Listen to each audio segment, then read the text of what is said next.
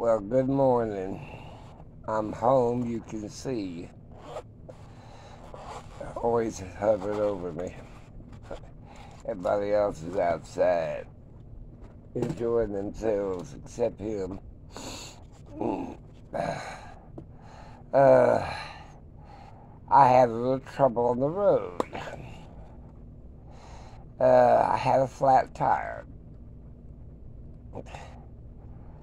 And the guy came after about two hours of waiting for AAA, which that wasn't bad. It was the middle of the night.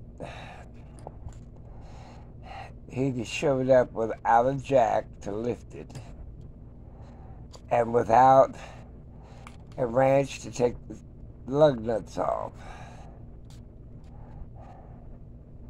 So basically, he was useless. But then he took loaded me up on the car carrier and took me all the way to Kansas, and I'm in Oklahoma. 127.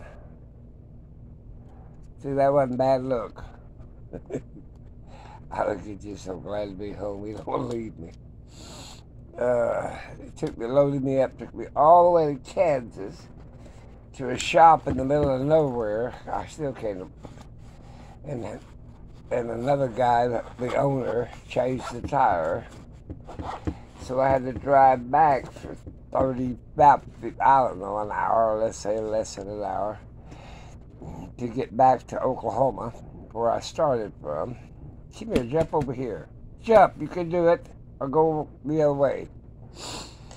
Anyway, the drive was beautiful. I made it home in about, I don't know, 20 hours. I, I drove solid straight through. Uh, the night before I left, I only got 18 minutes worth of sleep because that's what my watch said, and I don't know what I did. Uh, uh, I've been in the process of click. I've been home for a day or so. I appreciated everybody. I read everybody's comment. I'm just too exhausted to respond to them. Now, rest it up a little bit. He's going to jump over here. I know he is. Why don't you go across the table and around? He said, no, it's too damn much work, I guess. So, uh,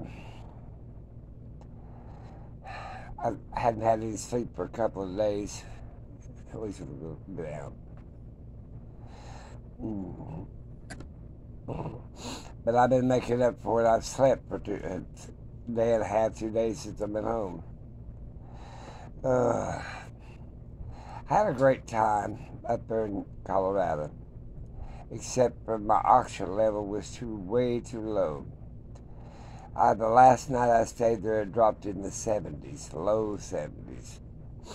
It dropped actually at one time at 70. Then I had oxygen, I'd bring it back up, and it'd drop back down, and bring it back up. I had canisters of oxygen. So I decided to leave and come home before I died of lack of oxygen. Uh, as soon as I got down to the plains, the national grasslands of Oklahoma and Colorado, my oxygen level got up to about 94. So that was in good shape. I'll tell you what it is this morning, but my oxygen machine's in the truck. I'm really, I've got to change. I, I couldn't find fuel so I run real low and messed up the fuel filter. I gotta have it changed. The fuel filter. I'm gonna buy two brand new tires, heavy duties. I want 16 plies. You know, forget 12s. I want 16s. At least 14s.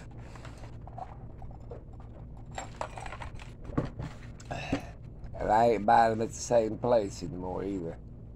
I think his tires is crap.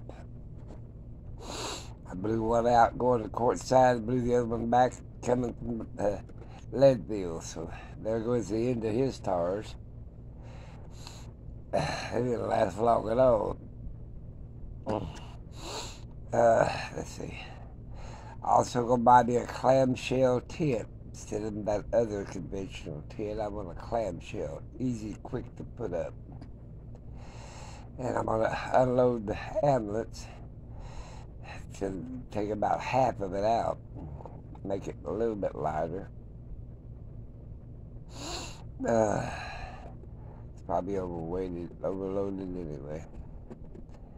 Uh, they ripped my bicycle, loaded me up on that uh, car carrier, and unloading it. He's crushed my bicycle. I'm gonna call the insurance company this morning. I thought it'd been easier to bring the wrench to take the lug nuts off and the jack to me versus the other way around. I think just want to charge the insurance company. Uh, I'm exhausted. I depleted every oxygen cell in my whole body, and now it took a couple of days to get them start getting back because I had such a severe headache. Felt like I was to pass out. While I was up there, there was a guy in the Safeway store, elderly gentleman. He was hanging on his cart and he passed out and his heart uh, uh, stopped. They had to give him CPR. I don't know whether he made it or not because of the lack of oxygen. They sold canisters of oxygen. I bought a couple of them. It's probably what kept me alive so I was up there even the healthy people, young people, they had trouble breathing for a couple of days so they acclimated in. I never did acclimate that good. I have a small airway because of the throat cancer I had once upon a time. And uh, that's big as your finger, little finger. Uh, but I had a great time. I should have took more pictures stuff. But, uh, I'm gonna get my rig worked on, and I'm gone again. Everything worked great though. My air conditioner worked great. It kept it about 70 degrees back there in the back for the pups. They had a hell of a time. Or he and the little guy rode in the front, but they was scared to death. And that guy wouldn't slow down. He he had my rig up, up in the air driving 75 mile an hour. He said, well, that's the speed limit. I said, you're going way too damn fast my shit up, on, in, up in the sky. Said, my dogs are back there. Uh, anyway, I made it home in one piece, survived.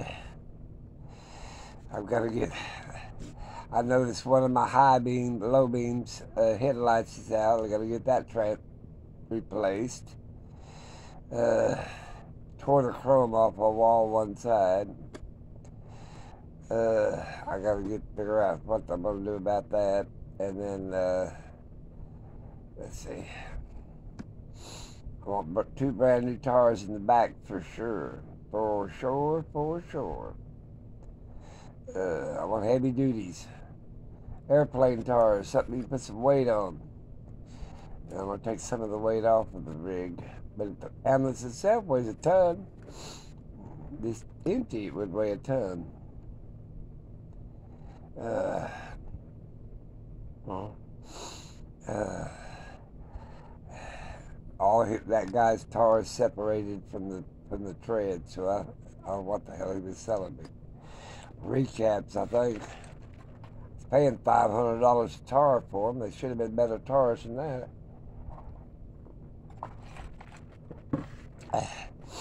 I some people don't give it a damn anyway. And my friend, she's still up there, and her, two other guys, a woman and a man, and friend's up there. Another guy, he's up there. They're enjoying themselves of that 39 degree mornings.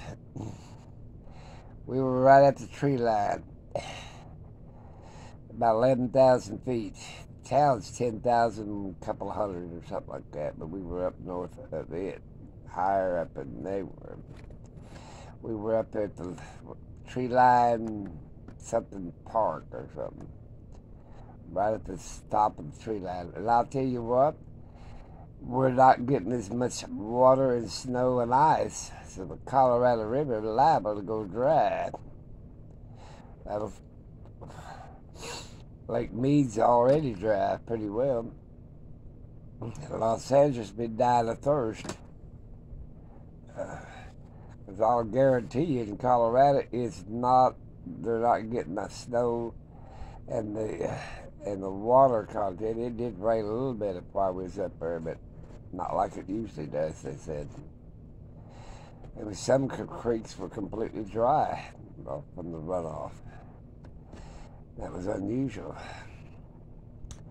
So we're running out of water. So uh, I'm gonna go to the doctor since I get a chance to make it. I'm supposed to go the 12th anyway, or the 15th or something. I'm gonna see if I can get in early. I've been doing real good though.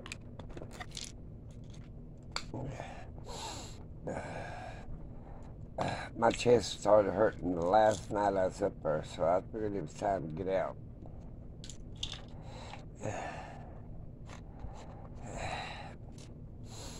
And I decided it was time to run.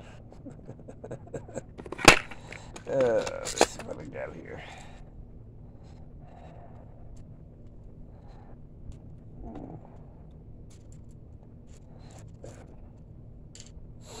I drove for ever. Tried to make it. I made it all the way up to Salida, Salida, wherever it was, about 100 miles from Leadville when I went up there. And so I was trying to make it all the way home because I had the dogs and the pups and had that flat. I would have made it a hell of a lot earlier if I hadn't had it flat. And I blame that on the guy that sold me the tars. Oh yeah, when I blew out the tar coming back from courtside, he knocked a hundred and some odd dollars off for, because of roadside, whatever, blah blah blah, hazard or whatever. And I said, I, I you know, I didn't give a shit. What I was mad about is the damn thing blowing out to begin with. Because I said, I can't change a damn tar. I'm too damn old and I have a jack, a 20 ton, that the guy tried to use this time. The guy, the other guy used my jack to jack it up. This guy here, he, uh, I don't think he knew what the hell he was doing. Scared the hell out of me.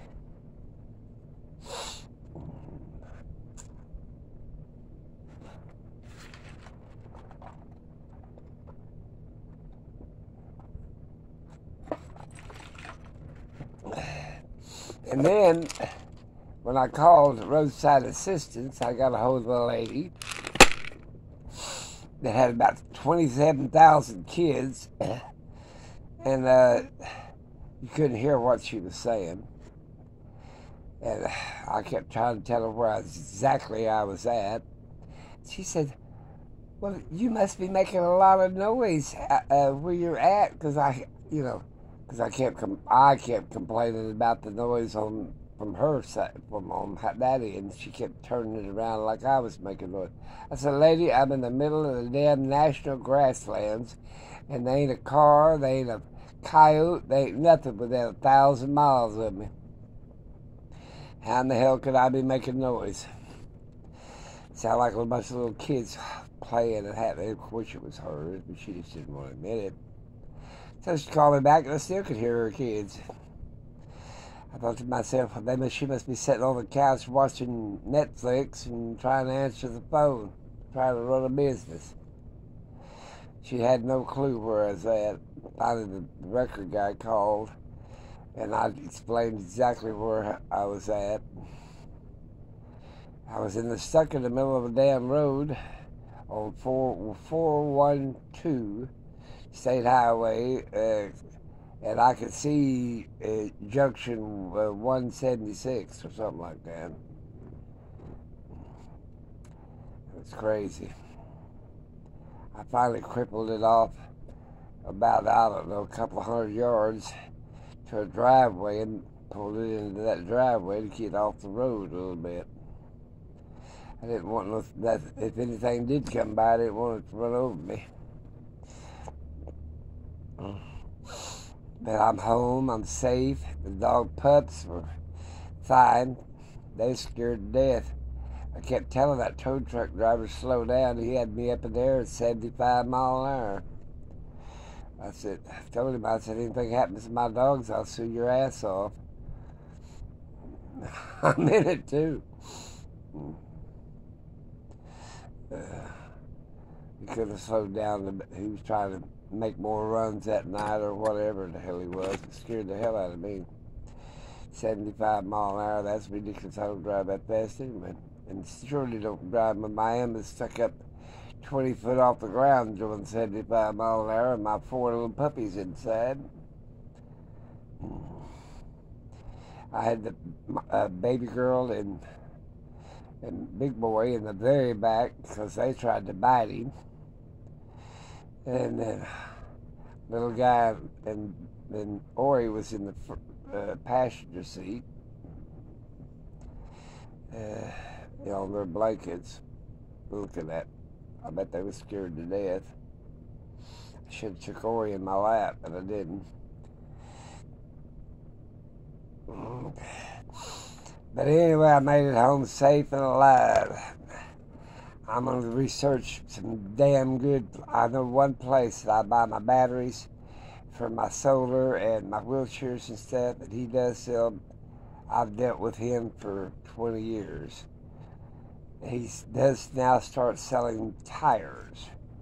I'm going to give him a call this morning and see what he's got. He normally sells batteries, but he's an honest man. I'll tell him I want some heavy duties. If I have to wait a week to get them, I don't care. Uh, and I want something to last versus a, I don't know, 900 miles, 1,000 miles. Both tires, first one tire didn't last 1,000 miles. The other tire lasted about, I don't know, maybe 2,000 miles. Well, the 10,000 mile guarantee ain't worth a shit. I would, I wouldn't go back over there if they give me two new tires.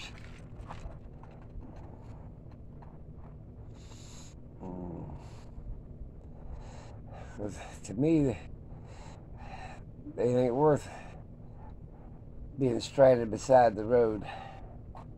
I gotta find a place to change my fuel filter now since I've run low on fuel and sucked up dirt or something in my fuel filter.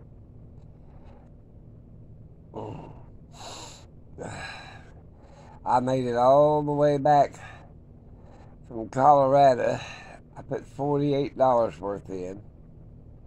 Couldn't find a filling station was open because it was in the middle of the night. Drove all the way to Guymon. I was past Guymon I got fuel again at Woodward. It cost 75 bucks to fill up. So from 75 and, and 48. That's how much money it cost me to get my butt home. Uh, 25, 125 dollars, something like that, 130, something like that. Uh, of oxygen, I can't add this morning too good. But I tell you what, if you if you if you're healthy and uh, your oxygen levels up, you don't have you're not a smoker. That is a great place. I don't smoke, but uh, I've had oxygen trouble. But that's a great place to go. It's beautiful up there in Colorado, Leadville. Uh, me and uh, I want to say Carol and and and and and, uh, Carol and well, hell, I can't remember that now. Uh, Frida, Carol and Frida, we went out to lunch. We walked one side of Leadville, the old part, and the other side of the old part. We had uh, Carol's a psychiatrist, and uh, she uh, she treated us to lunch if we'd come. She came up from Salina or Salada, I can't remember the name. About a hundred miles she came up to, to spend the day with us, run around. Everybody was collecting over there at the park. So she uh, she showed up and took me and Frida out to lunch. She's Frida's friend for a long time. And uh,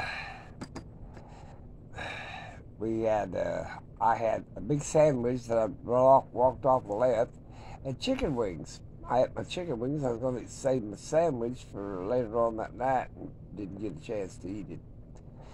But anyway, then the next time we went out to eat, I bought pizza.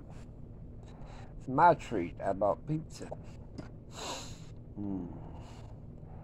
Uh, it was delicious pizza. They make they they had some of the best chefs up there. I don't know where the hell they come from, but they're damn good chefs. And uh, the pizza was like pizza and the drinks was forty five dollars for two of us. Uh, we had I had a diet coke. Uh, and uh, I think she had a lemon tea or something like that. I got choked on the pepperoni. I remember that. Uh, I don't like pepperoni that much. It was called the all meat pizza. That's what it was. Should ordered a combination. But anyway, it was good. I'm gonna get out there this morning. I'm gonna straighten up my ambulance because I just stowed everything back in there. Uh, I was so damn pissed off. I was a little mad at the driver because he was going too fast. Oh yeah, when they put my spare tire on there, uh, he put the hubcap on, and then I drove off. The hubcap fell off, so I had to go back to his shop and pick up the hubcap again. That's it was just a damn nightmare. I was glad to get the hell out of damn Kansas back to Oklahoma and back to where I started from so I could get back home. Then the dogs with us came in and just crashed. Mm. In fact, my little uh, battery operated refrigerator is hooked up to electricity and it's sitting in the kitchen floor. I hadn't even unloaded it. I just plugged it in. Mm. I think I'll either find out today or tomorrow to go get tires. Find out where I can get that fuel filter changed. And uh, change that headlight. That's the three things I got to do. And then figure out what I'm going to do the side uh, where I knocked off all that chrome. I think you can buy another chrome strip, stick it along there. I think that's what I might do. I'm thinking about putting something on there uh, that could be useful. Hmm. Um, could put, since it's long, about 20, 30 foot, I could put a strip across there, put turnbuckles on it or something and use it for something else. I'll do something. Make it look halfway decent. My main theory is a headlight, a fuel filter, and two brand new heavy duty tires. Mm. That's what I really want. That's the tires is the first thing, and the fuel filter be the second, and the headlight. I got uh, on high beams. I got both both lights. On low beams, I only got the one side. Uh, I, and another thing, I ain't gonna drive at night no more. Hell with it. I'll find me a uh, Rhodes RV park or something. Like driving at night. And first and last thing before I get off here, I apologize for not answering everybody's uh, comments. I did read them. I did like them. I just didn't have the time or the energy, mainly the energy, to, to respond to them. Now that I'm home, I got the time and the energy after getting oxygen back. I'll start responding to them. My my regular people that makes the comments, I really appreciate them. You guys were uplifting, let me tell you. Uh, Gail and Carol and and the rest of you. Uh, appreciated you, everyone. Uh, well, I better go. I've got to. It's ten minutes to seven. I want to get out there and turn that air conditioner on before it starts getting hot, so I can sit in there and straighten it up. Cause I'm used to cooler weather now. No oxygen, but just cooler weather. If you ever get a chance, go to Leadville. You're two miles high. Denver's one mile high. Leadville's two miles high. Leadville's the tall, highest town or city or whatever you want to call it in America. And you were up there. And then if you go on up to the campgrounds, which is another seven or eight hundred feet above Leadville, uh, you're up about 11,000 feet. And you have a little trouble breathing. Even if you're healthy. There's some young people of them hikers, world hikers, and the bikers. The, they was having, having trouble breathing. Talk to you guys later.